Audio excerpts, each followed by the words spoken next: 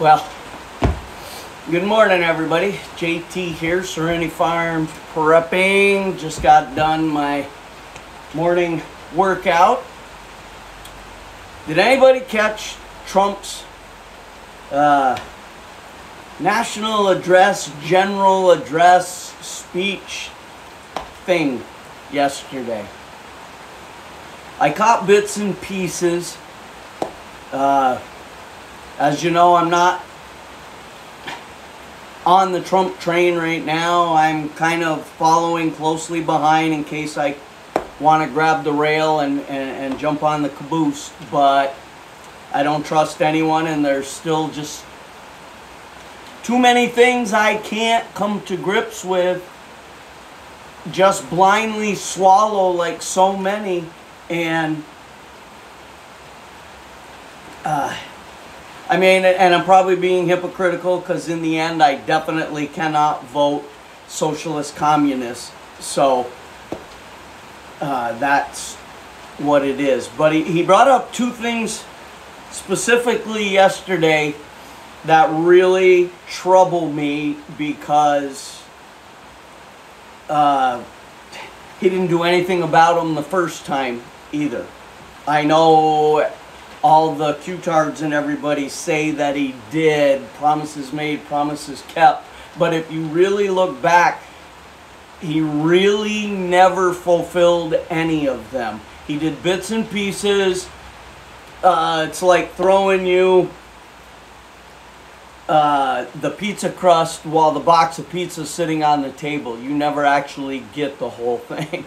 All right, so the first one was immigration and his ever continuing narrative of the biggest, largest, most beautiful deportation ever. I know, that's his thing, right? Okay, is he going to do that? Not a chance. No. What he'll probably do is uh, get rid of a few thousand really bad apples that they happen to catch. Maybe some terrorist types on the terror watch list, you know, that kind of stuff. Um, and we'll see that go on for a few months. They'll make a big deal every time they catch one or a handful. Uh, they might build a couple sections of the wall or at least look like they're building them. And there's going to be so much other stuff going on, either perpetrated by the Democrats or the Uniparty, that people will once again easily get distracted and forget all about it. Um, because he made the statement, I will deport all the criminals first. Excuse me?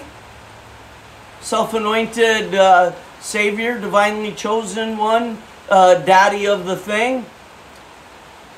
Illegal means you're a criminal. I don't care how long you've been here. I don't care if you were born here. If your parents were illegal and you were born here, you're illegal. If you crossed here illegally 20, 30, 40, 10 years ago, I don't care. You're illegal. Every single person in this country who is here illegally is a criminal. Now, with that being said, I understand that there's criminal for having crossed the border, excuse me, and then criminal for being on the terror watch list, murdering, raping, pillaging, rioting, looting, burning, assaulting, all that good stuff. I get it. We need to prioritize, which is what he was saying, but why he was saying it is the issue that I have. I think it's a distraction. Get rid of a few high profile and somehow 30, 40 million ain't going nowhere. That's my worry. Now, if I was in charge of the border, like maybe a czar, I would visit it. Um, And I've never been to Europe either. But as borders are, I would immediately shut it down, and if that requires putting armed people, uh, I would use the military, I would use the National Guard, I would use local enforcement where can, I would deputize thousands. And they would be stationed on the border with authorization for anyone attempting to cross illegally. It's the way it is. I would close it for three years, no exceptions. During that three year time period, every single illegal in this country, regardless if you're an anchor baby or how long you've been here, you're gone. You're leaving. Tough. You're a criminal. During that three years of closure, the walls being built, guard stations would be put on that wall. They don't have to be every 10 feet. There's very good effective ranges if you know what I'm talking about. You could use drones, you could use electricity, you could use many, many different options to keep it patrolled. But if everyone attempting to cross does not know without a doubt in their little brains that if they try to cross, it won't matter.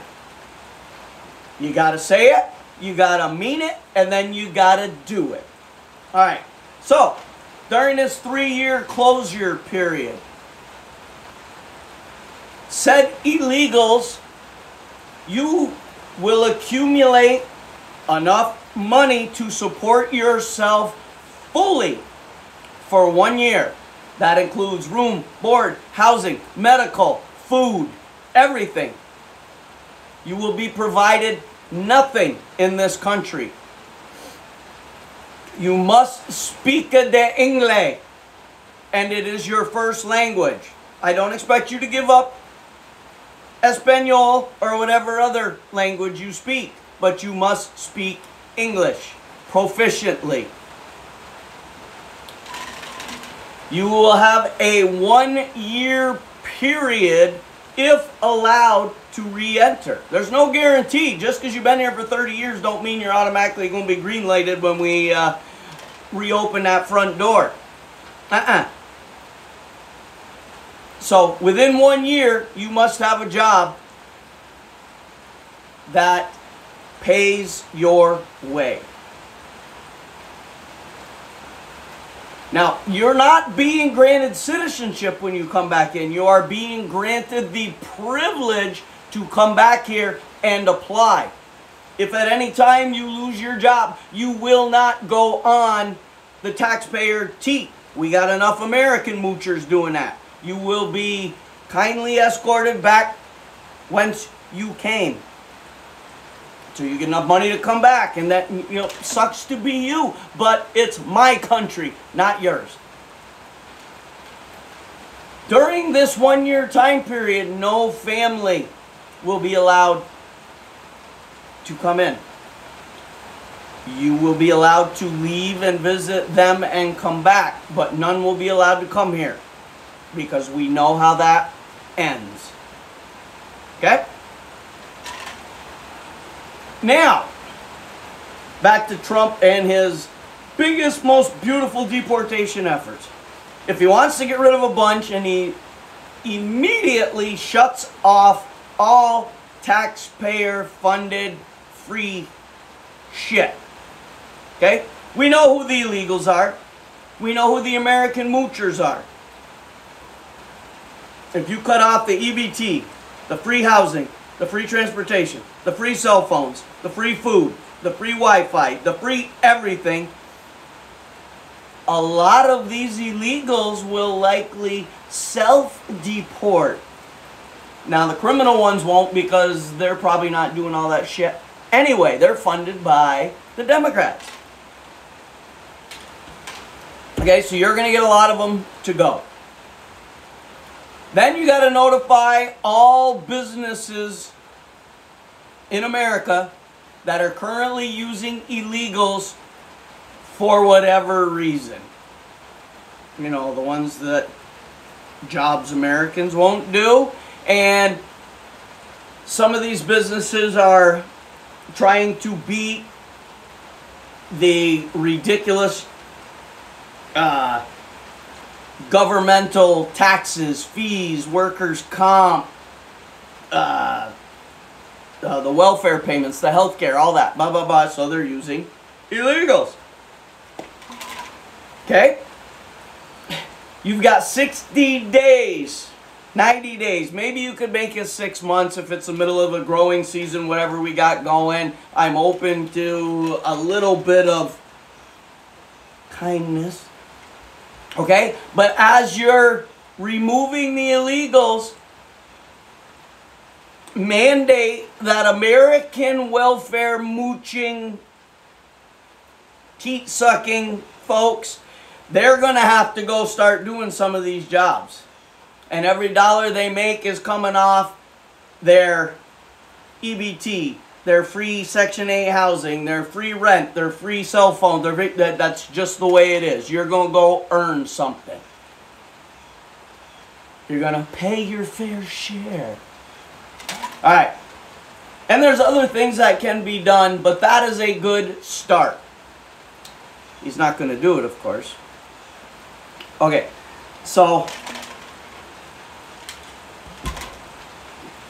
it pisses me off. It really pisses me off when I drive through my local city bus station and I see 10, 20, 30 getting dropped off every day right across from the local government center where they just literally walk across the parking lot 50 yards into the building and start getting all their free shit. The city closest to me is getting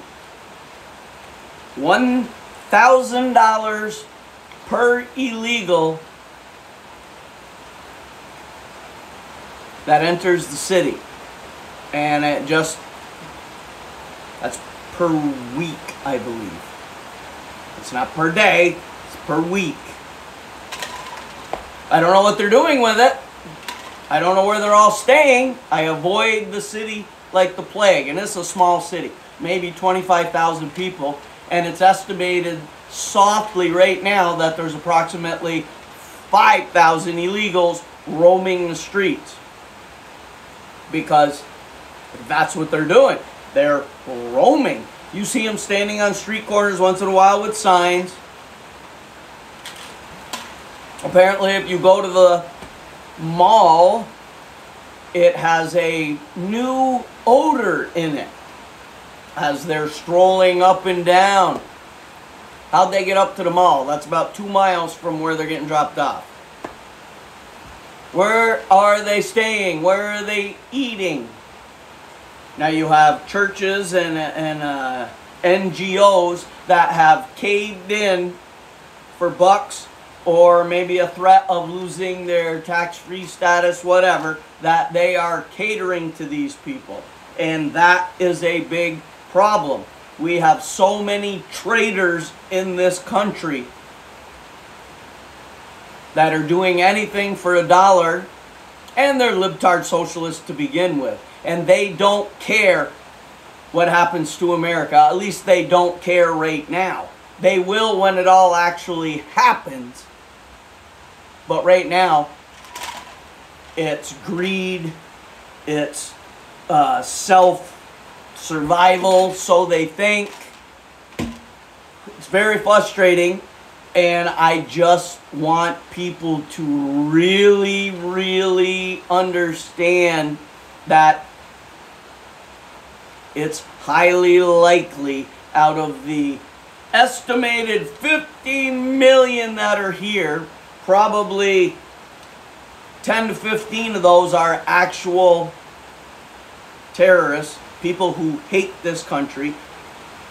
None of the illegals really want to assimilate. Don't even think that for a minute.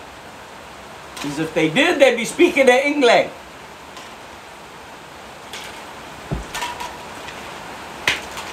our border, our sovereignty Unlike other nations, you see what's happening everywhere. Oh, yeah, yeah, here's what happens when guns are banned and illegal refugees are brought in. Europe brought in millions and millions of Muslims who hate white people. Most Europeans are white and Christian. So the Europeans gave up their guns without a whimper. We're the government. We'll protect you. Now they bring in millions and millions of illegal Muslims in every other freaking country. Now they're having a plethora of stabbings with knives and swords and machetes. And the residents are getting upset. Well, look in the mirror like I'm looking in because you're the one to blame. So, the European officials who are uh, feared for their own lives from the people have just come out with a very generous offer to all the people who own knives and swords and machetes, which are the illegals. If you turn in your weapons, we will give you, you can't make this shit up, we will give you a,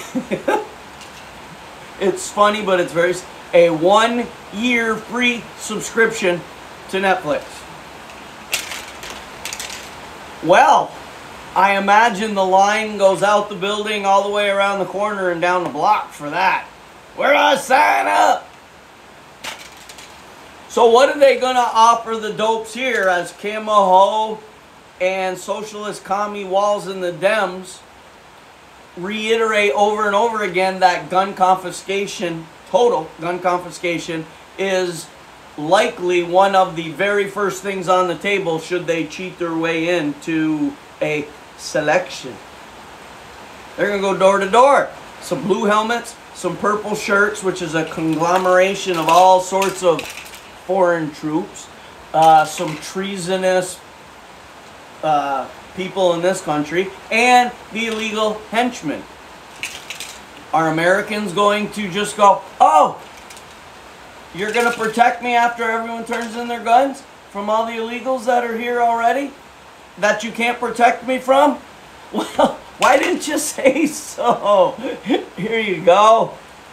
Bye now. Have a good day. Not so much. I wonder how the Q-tards will react to that. Because everything's under control, it's all part of the plan, it's all being taken care of. Don't you worry. Yeah, well, I already know how it's going to go if someone comes up my driveway. Nope. Nope. And did I mention nope? Alright. I just have so many reservations about Trump. I, I know exactly where the Democrats stand. So as much as I have reservations about Trump, if we get to the election, like I said, I'm a hypocrite probably. I will probably have to vote for him because I'm not not going to vote and I'm certainly not going to vote Democrat. And there's a lot of people in my situation that believe all we're doing is voting for the lesser of two evils, which one is a instantaneous collapse full of evil and the other one is the frog in the pot of boiling water evil. Either way. Um, oh, and Trump wants to take the guns from the bad people. I thought they didn't have any. Yeah, there's two, and and uh, yeah, take guns. Just use no, no. Ah, okay. Maybe I shouldn't do this right after a workout. all right, that's all I got for now. JT, signing off.